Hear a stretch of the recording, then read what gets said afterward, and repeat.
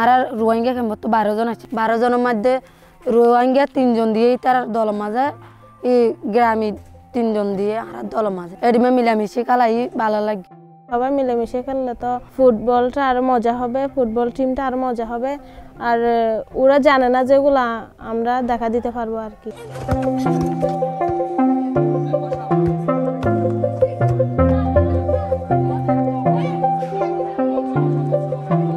আমরা সোশ্যাল হাবে যাই সবার সাথে মেলামেশা থাকার জন্য পরামর্শ দেওয়া পুরা আর আবার মাত্রকে আসছি দে পাঁচ বছরে পাঁচ বছরের মধ্যে পুরা পাঁচ বছর পুরাই গিয়ে এ সবরত শরৎ হয়েছে